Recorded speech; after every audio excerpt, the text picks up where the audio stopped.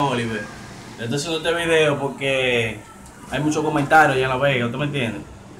Y la gente tiene que entender que todo el mundo sabe por qué fue que yo le hice eso ahí. Óigame, cuando a mí me robaron la cartera, fue él que me la robó la cartera. Le sacó los cuartos y me la tiró por allá. Y los seguridad lo sacan para afuera, eh. Y ellos lo que hicieron fue que me esperan afuera y ahí me cayó un grupo y yo lo que hice fue que me mandé. Y en la tarde, cuando me volé la cadena en la tarde, yo trompecé y me caí. Y me agarraron ahí. Y me entran a botellazo y me desbaratan por todos lados. Vea cómo estoy, vea. Todo, y eso que usted no lo está viendo mucho, después yo tengo tres cirugías que me hicieron ya.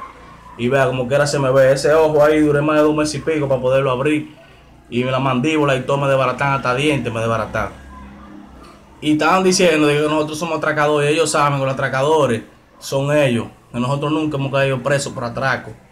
Y él sabe por qué fue eso. Yo duré dos meses y pico, óigame, que lo que bebía era sopita y cosas en, en calimente que no podía ni comer. Ahora dicen, ah, que tiene una niña, ¿verdad?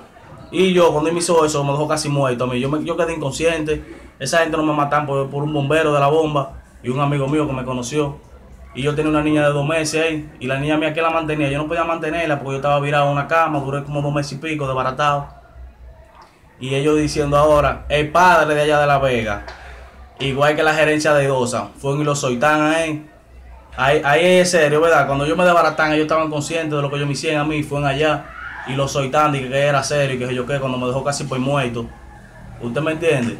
Fue casi por muerto que yo quedé desbaratado, desfigurado. Vea cómo yo estoy, el otro mío. Soy desfigurado para el resto de mi vida que yo estoy. Y ellos diciendo que, que no, que es serio y toda la vaina. Ahora salen a comentar. ¿Por qué no comentaban antes con lo que me hizo? ¿Usted me entiende? Esto es así.